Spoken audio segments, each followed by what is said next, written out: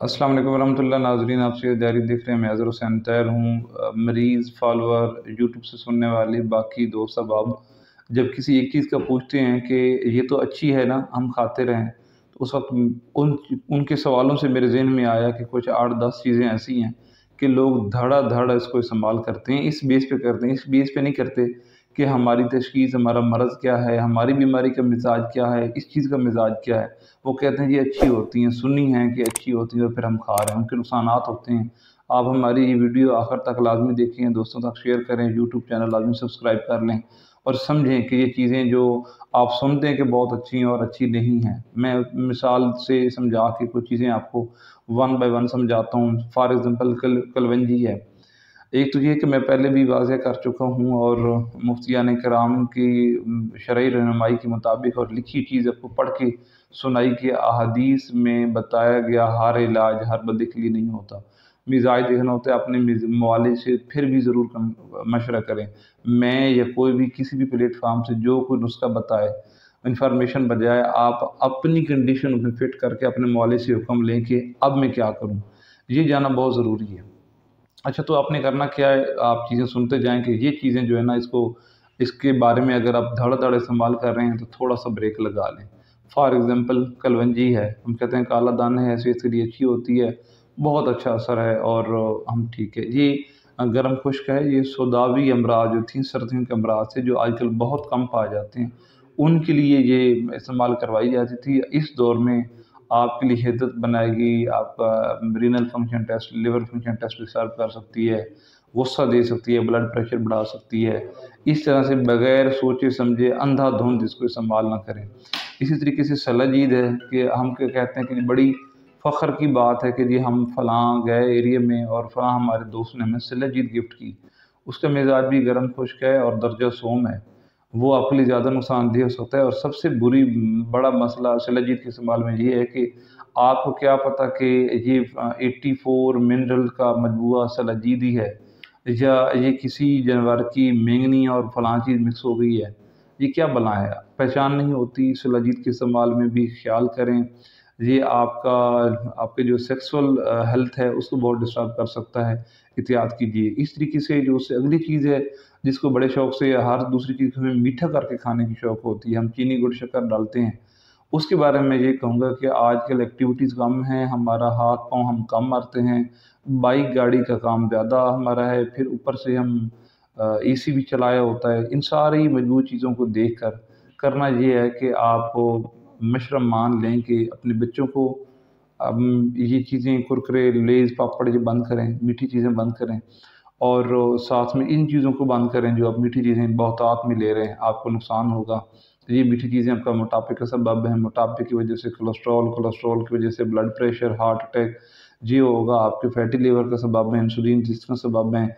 बहुत सारी बीमारियों की जड़ है। पेशाब बार बार आने का सबब है। बच्चों को हाइपर एक्टिव एक्टिव होने का सबब है। इसलिए इन चीज़ों से भी जान छुड़ाएँ फिर एक खजूर है। हम कहते हैं कि जी, ताकत हमारे एक में कंसेप्ट होता है कि जी, मैं इतने अरसे से ये मरीज़ बताते हैं, खजूरें खा रहा हूँ, आठ दस डेली खा जाता हूँ, कोई मसला तो नहीं है। तो उनको समझाया जाता जी मसला है क्योंकि आप खाने पीने की बाकी चीज़ों को बिल्कुल साइड पे नहीं रख रहे वो भी खा रहे हैं और इसको प्लस में ये खा रहे हैं। तो फिर मुझे कुछ लोग कहते हैं कि जी आ, हमारे नबी पाक से खाना साबित है साहबा कराम ने खाए तो मैं सार आँखों पे और बहुत एहतराम है कि नबी पाक ने जो कुछ कहा जो जो कुछ भी हमने देखा वो हक हक और हक ही है। लेकिन हमें भी सनेरियो का पता होना चाहिए। मैं मैं ये समझता हूँ कि आज के दौर में इतनी अच्छी चीज़ है, इतनी ताकत है कि अगर कोई बंदा पूरा खाना ना खा दो तीन खजूरें खा ले दो तीन मनक्का खा ले तो उसकी ताकत पूरी हो सकती है। लेकिन हमारा अंदाज़ इन चीज़ों को लेने का गलत है। हम रिफाइन चीज़ें, इन्हीं मीठी चीज़ों से मज़ीद अपने, हमने जो मीठी चीज़ें बना ली, गुड़ शक्कर, वो भी हम खा रहे हैं।